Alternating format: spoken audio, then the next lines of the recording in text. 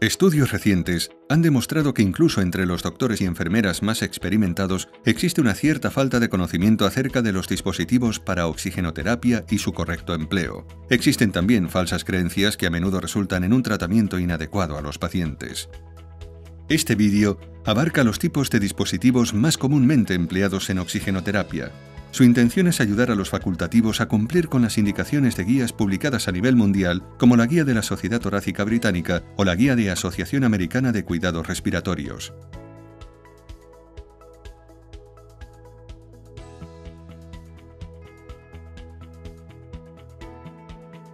Revisaremos cómo funcionan estos dispositivos, cómo y cuándo deben usarse, sus características más destacadas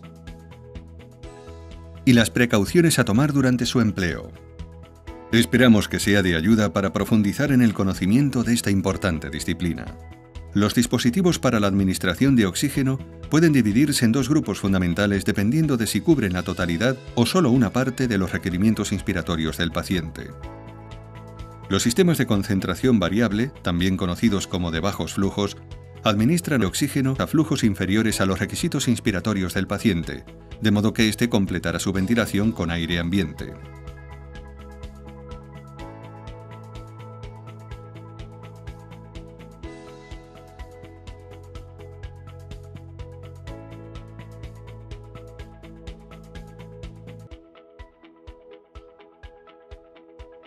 Los sistemas de concentración fija o altos flujos administran flujos que cubren la totalidad de los requerimientos inspiratorios del paciente.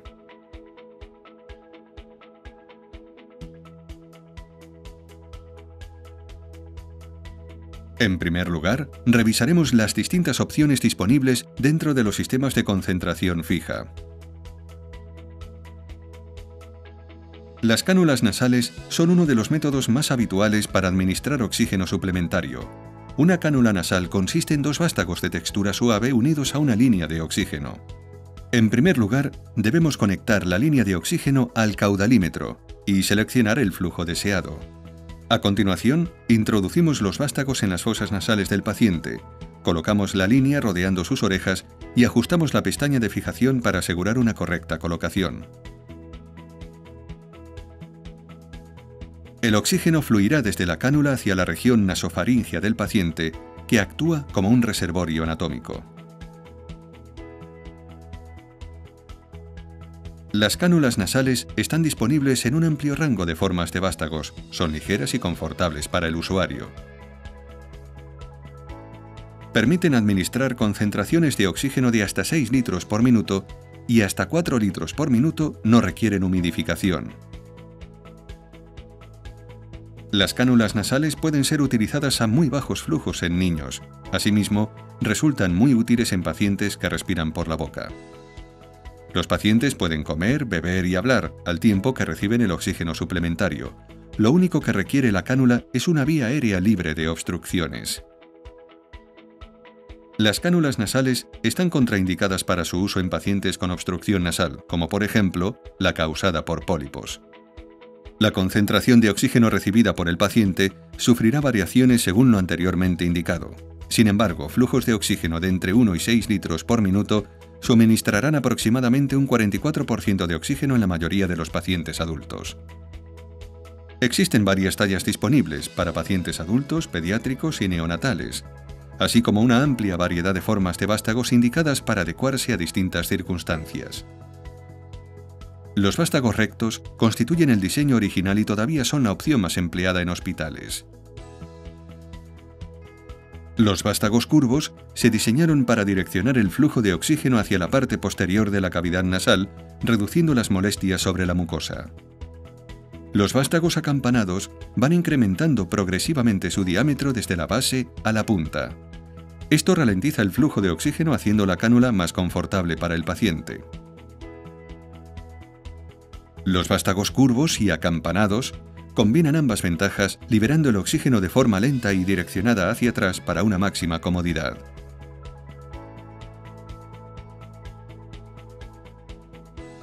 La cánula nasal puede suministrarse con protector de oreja, que beneficiarán especialmente a los pacientes con usos prolongados, ya que previenen la formación de escaras en torno a las orejas. Las cánulas nasales también están disponibles en versiones especiales que permiten la monitorización del dióxido de carbono exhalado en pacientes no intubados. Las cánulas nasales Sentry de Intersurgical disponen de esta particularidad. Estos dispositivos son adecuados para pacientes sometidos a sedación profunda en la que se recomienda monitorizar la frecuencia respiratoria. La cánula nasal Sentry se coloca en el paciente como una cánula convencional y a continuación se conecta la línea de monitorización a un capnógrafo. La cánula nasal Sentry dispone de vástagos tabicados, de modo que por uno llega oxígeno al paciente y por el otro se recoge el gas exhalado. Los valores de CO2 exhalado son comparables a aquellos obtenidos en pacientes intubados. Veamos ahora las mascarillas de oxígeno de concentración media, que suponen otra opción para la administración de oxigenoterapia a bajos flujos. Las mascarillas son adecuadas cuando no conviene emplear las fosas nasales o cuando se requieren concentraciones más altas que las obtenidas con gafas nasales. Estas mascarillas están disponibles en tallas adulto y pediátrica. Las flechas indican la manera en la que los gases son inhalados y exhalados por el paciente. La flecha roja representa el oxígeno que llega a la mascarilla. La flecha naranja representa el aire ambiente que es succionado a través de los orificios de ventilación de la mascarilla mientras el paciente inhala, y las flechas azules representan la exhalación. La concentración de oxígeno recibida por el paciente es variable, pero para un flujo de entre 5 y 8 litros por minuto, la mayoría de pacientes adultos estará recibiendo entre un 35 y un 50% de oxígeno. Uno de los extremos del tubo se conecta al conector de 6 milímetros de la mascarilla y el otro al caudalímetro. El caudalímetro debe posicionarse al flujo deseado para la concentración de oxígeno prescrita. La mascarilla se coloca sobre la nariz y boca del paciente y la gomilla ajustada adecuadamente para proporcionar un ajuste cómodo y seguro. Históricamente, las gomas elásticas se situaban por encima de las orejas del paciente. Sin embargo, la nueva generación de mascarillas Ecolite e Intersurgical se pueden colocar también por debajo de las orejas para reducir el riesgo de aparición de escaras. Es importante emplear una mascarilla que proporcione un adecuado sellado facial en la zona de la nariz del paciente, para evitar fugas de oxígeno que puedan irritar los ojos. Una mascarilla con ajuste inadecuado Puede exponer los ojos a un flujo elevado de oxígeno seco que puede provocar queratopatías e incluso perforación de la córnea. El uso de mascarillas exige un flujo mínimo de 5 litros por minuto para asegurar el correcto lavado de dióxido de carbono y prevenir su reinhalación por parte del paciente. El riesgo de aspiración de vómitos es más elevado cuando se emplean mascarillas de oxígeno. Las mascarillas de concentración media de la gama Sentry de Intersurgical incorporan la capacidad de monitorizar el CO2 exhalado. Están indicadas en pacientes no intubados sometidos a sedación profunda en los que una posible depresión respiratoria debe ser controlada. La mascarilla puede conectarse a un capnógrafo mediante una línea de monitorización con conector Luer-Lock. El último dispositivo para la administración de oxígeno a concentración variable que vamos a ver son las mascarillas de alta concentración o mascarillas de no reinhalación, estas mascarillas se emplean en situaciones que requieren concentraciones muy elevadas de oxígeno, como por ejemplo en pacientes críticos o inestables. Cuando el paciente inspira, la válvula en la entrada de la bolsa reservorio se abre permitiendo la entrada de oxígeno. Cuando el paciente exhala, se abren las válvulas de la mascarilla permitiendo la salida de CO2. En condiciones ideales, el paciente no respirará aire ambiente, sin embargo el ajuste de la mascarilla y el patrón respiratorio del paciente afectarán a la entrada de aire ambiente y por tanto a la concentración final de oxígeno. Las mascarillas de alta concentración de diseños antiguos con mal ajuste facial implican unas concentraciones de oxígeno suministradas en torno al 80% con flujos de entre 10 y 15 litros por minuto. La mejora en el ajuste conseguida con la nueva generación de mascarillas Ecolite minimiza la cantidad de aire que entra por los bordes de la mascarilla, con lo que la concentración conseguida se aproxima al 90% de oxígeno para flujos de entre 10 y 15 litros por minuto. Este funcionamiento mejorado requiere la inclusión de válvulas de seguridad, que se abrirían en el caso de un fallo en el llenado de la bolsa reservorio, permitiendo la entrada de aire en la mascarilla. Para emplear la mascarilla de alta concentración de oxígeno, en primer lugar, conecte la línea de oxígeno al caudalímetro y seleccione un flujo de 15 litros por minuto. Tape la válvula inspiratoria con un dedo, teniendo cuidado de no dañarla, para comprobar que la bolsa reservorio se llena correctamente.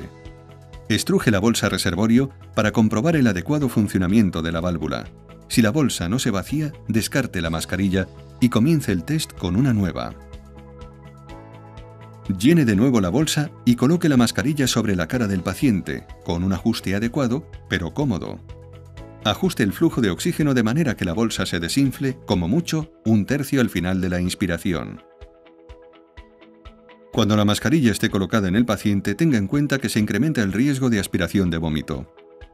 Una característica especial que podemos encontrar en algunas mascarillas de alta concentración de Intersurgical es el indicador de frecuencia respiratoria RespiCheck. La frecuencia respiratoria es un parámetro que debería ser monitorizado en cualquier paciente que requiera oxígeno adicional, y a menudo se emplean tan solo estimaciones poco precisas. La mascarilla RespiCheck incorpora un tubo de plástico con una bolita que actúa como indicador visual de la frecuencia respiratoria. El flujo de oxígeno en la mascarilla empuja la bolita a la parte superior del tubo y la presión negativa generada por cada inspiración del paciente envía la bolita al fondo del tubo proporcionando un indicador visual de cada respiración. Ahora veremos los sistemas de concentración fija o altos flujos. Estos dispositivos proporcionan un flujo de gas suficiente como para cubrir las necesidades inspiratorias del paciente. En primer lugar, ¿en qué situaciones debemos usar sistemas de concentración fija de oxígeno? Estos dispositivos están especialmente indicados en pacientes con enfermedad pulmonar obstructiva crónica y con retención de CO2, en los que la ventilación es dependiente del impulso hipóxico. En esta patología se pierden los estímulos usuales que rigen la respiración y que son el mantenimiento de unos niveles normales de CO2, debido a un aumento crónico de los niveles de CO2. En estos casos, la respiración es dirigida por la hipoxia. Si estos pacientes reciben altas concentraciones de CO2 y sus presiones parciales de oxígeno aumentan, este control de la respiración a través de la hipoxia puede perderse. Podría tener lugar una elevación extrema de los niveles de CO2 con resultado de coma e incluso la muerte. Un sistema de concentración fija, en el que la fracción inspirada de oxígeno puede ser minuciosamente controlada y monitorizada mediante mediciones de gas en sangre, suele ser más apropiado para este tipo de pacientes.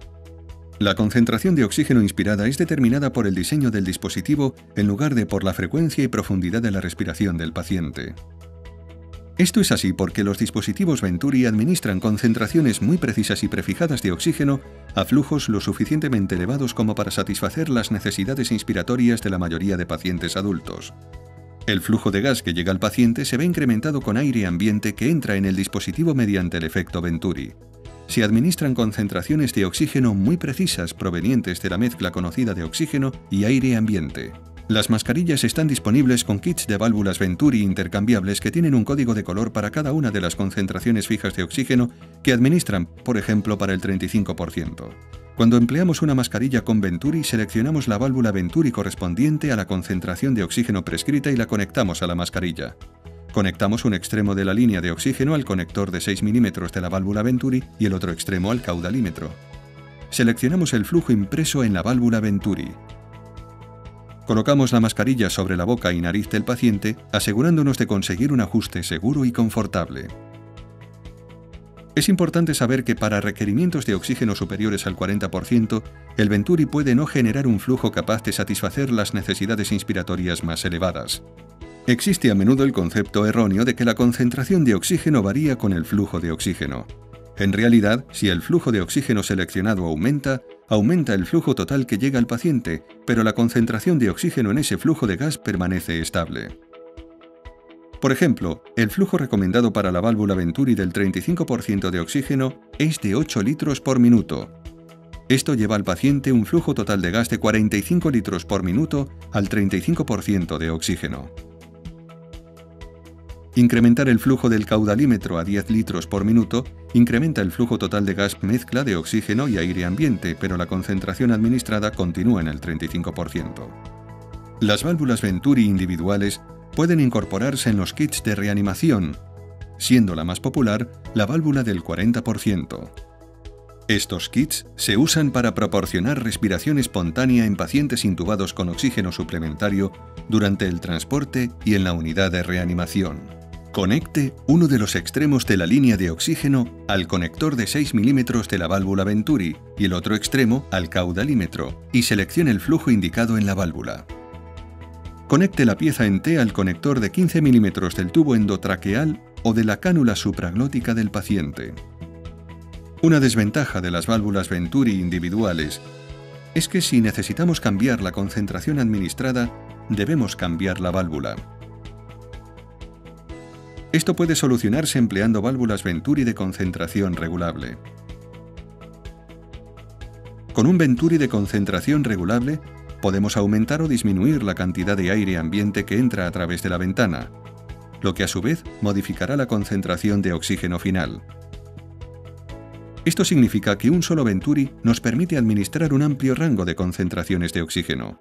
Como el Venturi no necesita ser reemplazado para cada nueva concentración requerida, los cambios de concentración se pueden hacer de manera muy rápida.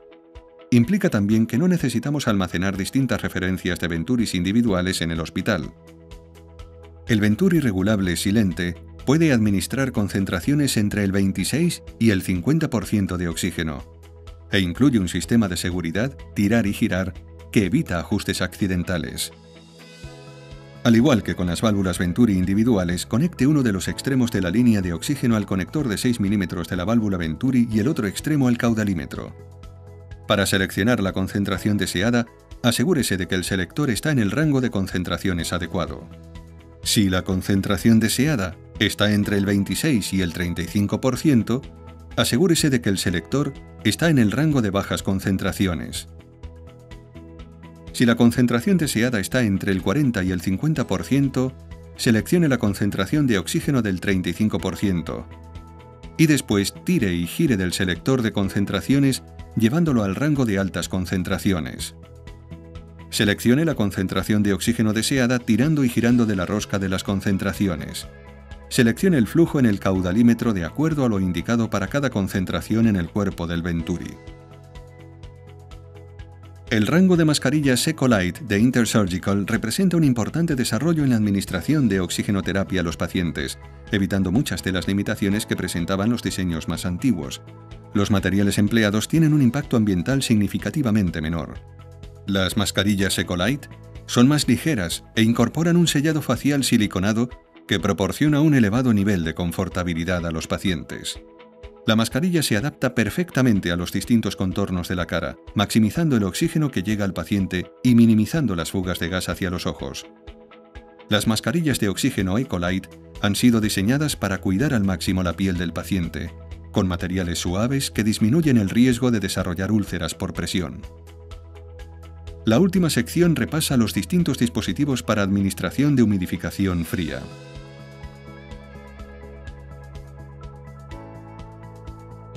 Fink y Hunt, en Prácticas Clínicas de Cuidados Respiratorios, describen los dos dispositivos de uso más común en esta categoría como sigue. Un humidificador es un dispositivo que añade agua molecular a los gases, mientras que un nebulizador produce un aerosol o suspensión de partículas en un gas. Los humidificadores por borboteo nos sirven para humidificar el oxígeno seco proveniente de los tanques hasta los niveles de humedad del aire ambiente. El gas penetra en el frasco humidificador provocando pequeñas burbujas y sale cargado de humedad. La humedad absoluta del gas varía en función de lo siguiente. El flujo seleccionado. La temperatura del agua. El tamaño del frasco. El volumen de agua en el frasco humidificador. Los humidificadores por borboteo son empleados de manera rutinaria con los sistemas de bajos flujos tales como las cánulas nasales y las mascarillas de oxígeno de concentración media. Algunos modelos incorporan una válvula de sobrepresión diseñada para evitar una presión excesiva dentro del frasco en caso de oclusión de la línea de oxígeno. La activación de la válvula genera una alarma audible que avisa al usuario de la situación. La tapa del frasco humidificador suele incorporar una conexión universal a rosca compatible con el uso de un frasco rellenable o con frascos de un solo uso que vienen ya llenos de agua estéril. El caudalímetro debe conectarse a una fuente de oxígeno. Llene la botella con agua estéril empleando una técnica aséptica y ciérrala con la tapa a rosca o bien conecte una botella prerrellena de agua estéril. Conecte el vaso humidificador a la conexión a rosca del caudalímetro. Para probar la válvula de sobrepresión ajuste el caudalímetro a 4 litros por minuto y ocluya la salida de oxígeno. Verifique que la válvula se abre en menos de 5 segundos. Seleccione el flujo de oxígeno adecuado para el paciente. Conecte la línea de oxígeno al vaso humidificador y al sistema de administración de oxígeno empleado y ajústeselo al paciente.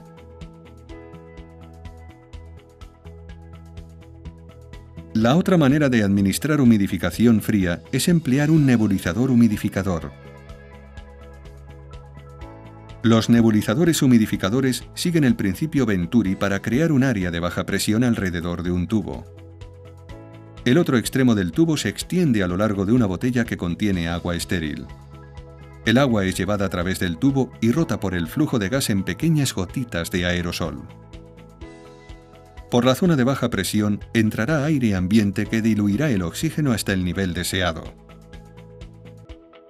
La mezcla de aire-oxígeno conteniendo gotitas de agua pasa entonces al paciente. Los nebulizadores humidificadores pueden administrar entre 24 y 50 miligramos de agua por litro de gas, dependiendo del flujo seleccionado. Los nebulizadores humidificadores se usan habitualmente con mascarillas de traqueostomía y de aerosoles. Es importante que estos dispositivos operen de la manera más silenciosa posible para asegurar un ambiente confortable para los pacientes. Deben además adecuarse a los estándares internacionales para asegurar unas concentraciones de oxígeno precisas. Algunos dispositivos, como por ejemplo el Aquamist, están equipados con un sistema de seguridad a prueba de manipulaciones para prevenir cambios inadvertidos en las concentraciones de oxígeno.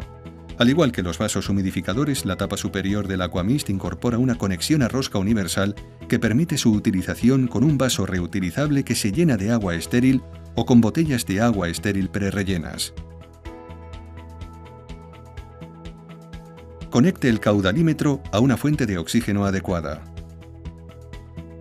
Llene la botella con agua estéril empleando una técnica aséptica y conéctelo a la tapa del humidificador. El nebulizador humidificador debe conectarse al caudalímetro. Conecte un tubo corrugado de 22 milímetros a la salida del nebulizador humidificador. Es importante posicionar el tubo de manera que el punto más bajo quede por debajo del paciente y regularmente drenar cualquier posible condensación para prevenir que ésta llegue al paciente u ocluya el tubo corrugado. Conecte la mascarilla de aerosoles y después ajuste la concentración de oxígeno al nivel requerido. Configure el caudalímetro para proporcionar el flujo total requerido al paciente. El Aquamist de Intersurgical incluye una indicación del flujo adecuado junto a cada una de las concentraciones para simplificar este proceso. A continuación, ajuste el dispositivo de administración de oxígeno al paciente. La mascarilla de aerosoles debe colocarse cubriendo la nariz y boca del paciente, con el elástico correctamente regulado, de modo que proporcione un ajuste seguro y confortable. Las mascarillas de traqueotomía deben colocarse sobre el traqueostoma del paciente y asegurarse mediante una cinta elástica colocada en torno al cuello del paciente. No existe una conexión internacional estándar para la salida del caudalímetro. Esta puede variar según el país y el fabricante. Tanto el Aquaflow como el Aquamist incluyen conexiones de oxígeno DISS, que es el tipo más habitual. Disponemos de adaptadores para caudalímetros con otras salidas, como por ejemplo la conexión M12. Estos dispositivos no deben emplearse en circuitos de ventilación mecánica, ya que al tener efecto Venturi están abiertos al exterior, lo que provocaría fugas en el sistema. Estos dispositivos solo deben llenarse con líquidos estériles que deben sustituirse todos los días. Cualquier líquido residual debe eliminarse de la botella antes de proceder a su rellenado. En resumen, hemos visto varios dispositivos distintos para la administración de oxigenoterapia incluyendo sistemas de administración de oxígeno de concentración variable, sistemas de administración de oxígeno de concentración fija y dispositivos para humidificación. Esperamos haber sido de ayuda en la comprensión de esta importante disciplina.